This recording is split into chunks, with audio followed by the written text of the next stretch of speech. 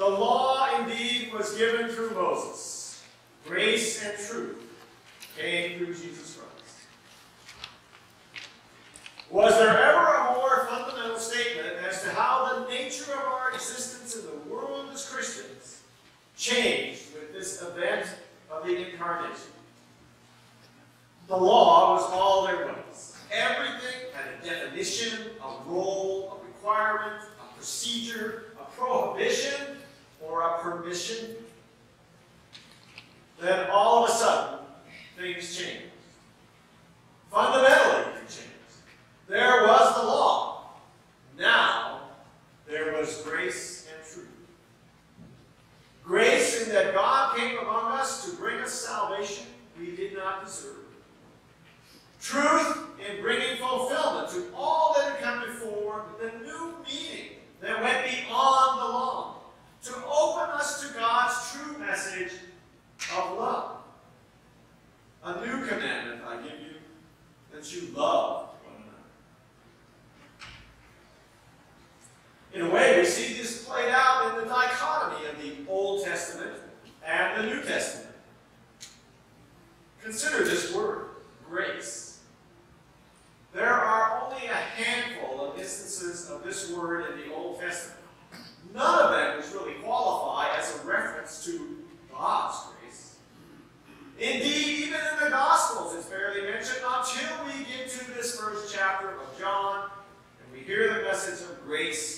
coming from God.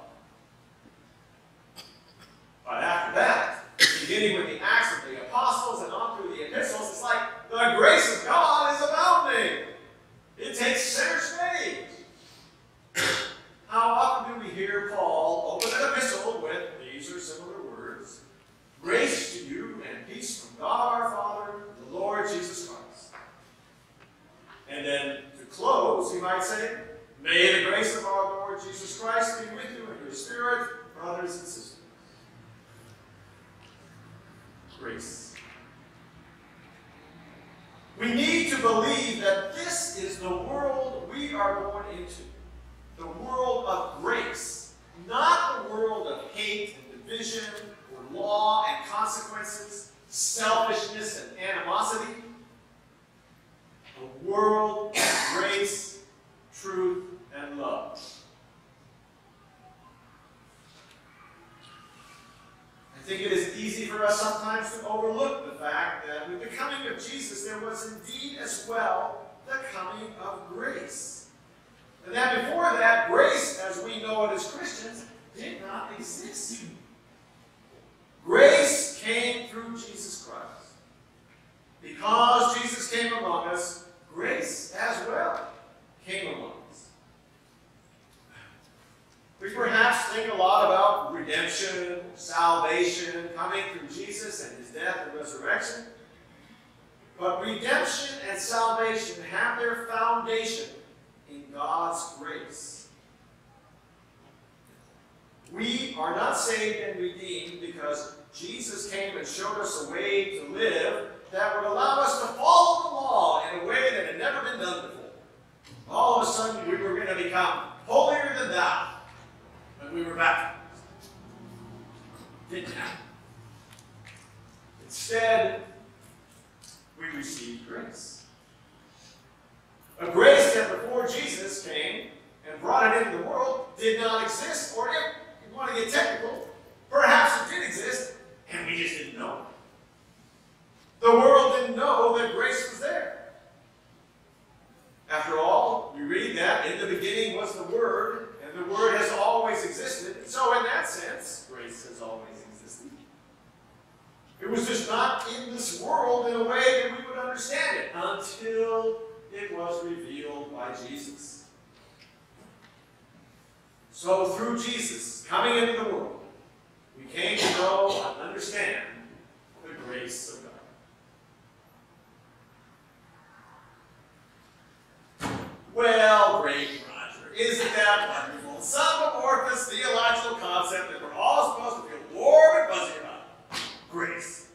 With Jesus came grace.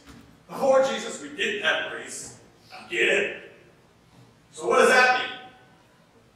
I'm saved by the grace of God. I see the grand concept in John's lesson this morning, the ultimate grace of God in offering his Son for our salvation.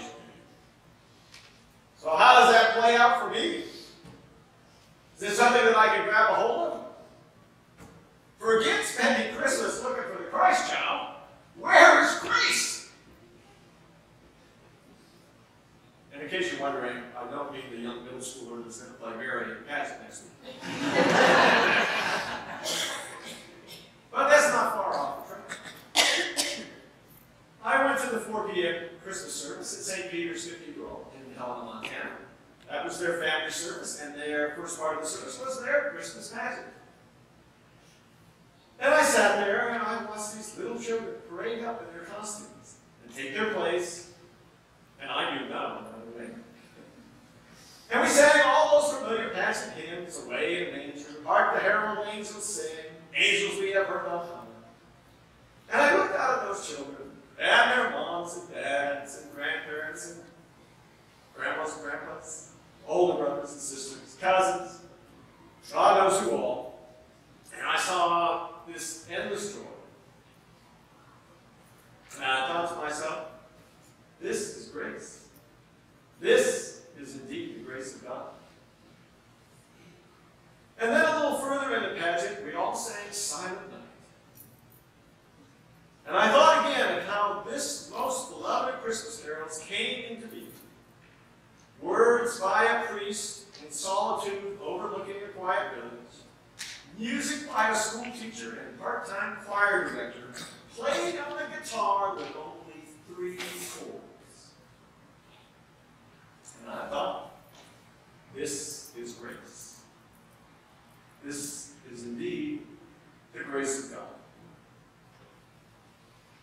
And I thought of homeless being fed in volunteer kitchens and toys gathered for less fortunate children, families united over great distances and people all over the world who hold to Christian values, whether they're Christian or not. And I thought, this is the grace of God.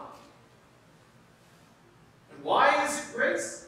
Because it is a gift freely given by God, something that we would not have except that Jesus came to be among us in human form. And with that came grace. Grace in so many forms uplifting music, inspired words, acts of human kindness, overpowering love. Things as simple as holding your first grandchild for the first time. So here we are, by the grace of God. A grace that is perhaps more than you thought it was. A grace that is given more to the world than we can ever begin to imagine.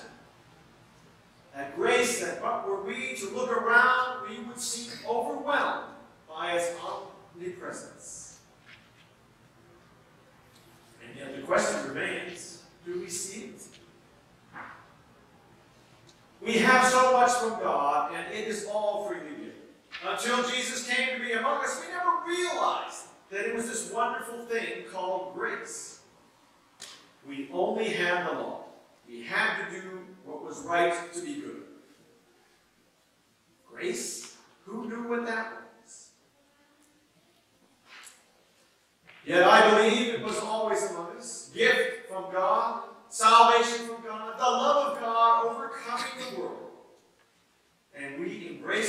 as we then freely give to those around us in the world, whether in song or words or physical gifts or food or comfort or simply sharing a smile.